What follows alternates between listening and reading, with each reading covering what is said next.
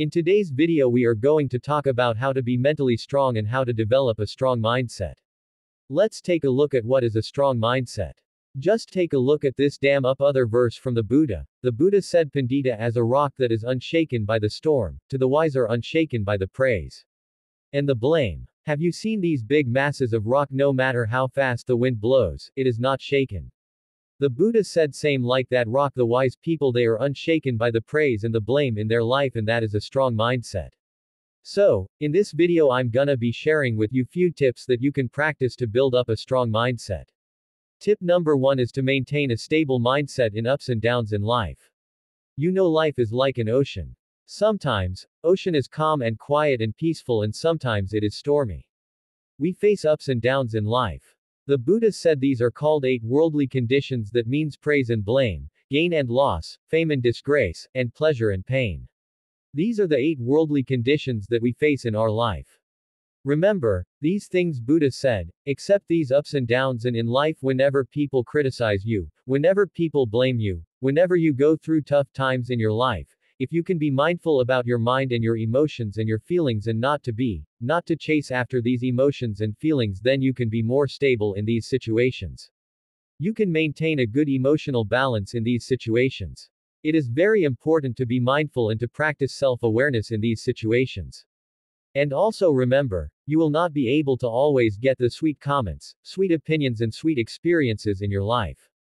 Life will give tough times to you, life will throw lemons at you. So, you have to maintain a stable mindset whenever you go through these situations by practicing the mindfulness and the self awareness. Remember that. Tip number two is to build the resilience inside the mind.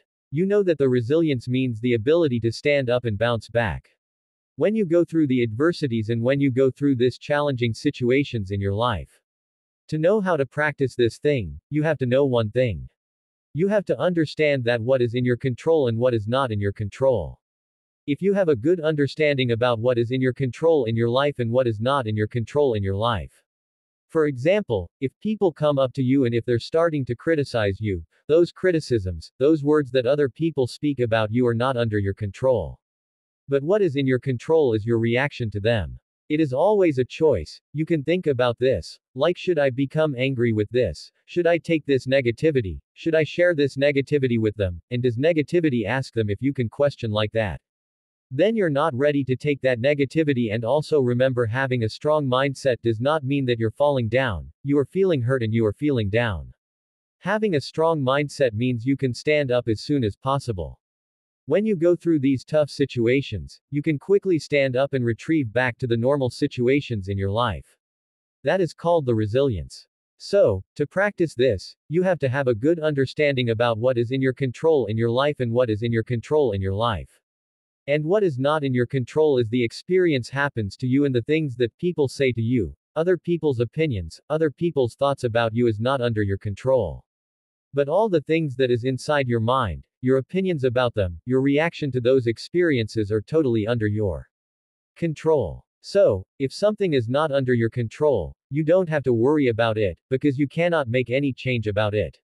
But if something is under your control, Definitely you can make a change about it, you can change your choice but you cannot change other people. Always remember that and also you have to cultivate a problem-solving mindset. If you're easily panicked by the problems, or if you are easy to trigger it by the problems then it is not easy to solve the problems. But if you can maintain a calm and a peaceful mindset even when you go through the problems or tough situations in your life, then it is very easy to go into the roots and solve the problems. Sometimes, we take the problems as ourselves, like we think, I have the anger, I am the problem, why is this happening to me right now? Remember, everything that is happening to you, is impermanent, it is not permanent thing right. It will be changed one day, what you have to do is to keep that problem aside and, try to dive into the roots of that problem, ask yourself why this thing is happening to me, what is the reason for this problem, what is the real reason for this? Where did I made the mistakes? And go to that problem, go to the root and then you can solve that problem. That is how you build up a problem solving mindset. Finally tip number 3, you have to practice a mindset of self-love and self-compassion. Remember, if you're loving yourself, if you truly love yourself, you're not going to take other people's negativity with you, whatever the thing that comes up to you, whatever the person comes up to you and like bring their negativity with you. You, tell yourself that, I'm not going to take this negativity with me, I want to be peaceful, I want to love myself, I truly love myself therefore I'm not ready to take your negativity, I'm not sharing this negativity with you, that is called self-love and self-compassion. To practice this, you can add up a simple practice that you can do it daily. When you get up early in the morning, just sit on your bed and think and say, no matter what happens during the day, I am going to love myself, I'm not going to take any negativity from this world, I'm going to empty my bin and I'm going to take a negative bin to this world. Do you know if you've kept all the bad things and trash in your bin for a long time, what will happen if you're in your trash bin? It will start to smell bad, but if you remove every single day all the trash in your bin and make it clean, make it a clean place, then it's very easy to live, it's very easy to be peaceful within. So, practice the self-compassion and self-love to build a strong mindset. Some people think that the people who are easily lose their temper are those who show their toughness and rudeness.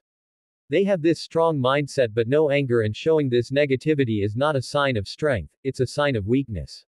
If you are easily triggered by people, if you're easily triggered by the people's reactions, then it's not a strong mindset. The strong mindset is the mindset that is not disturbed by the ups and downs in your life.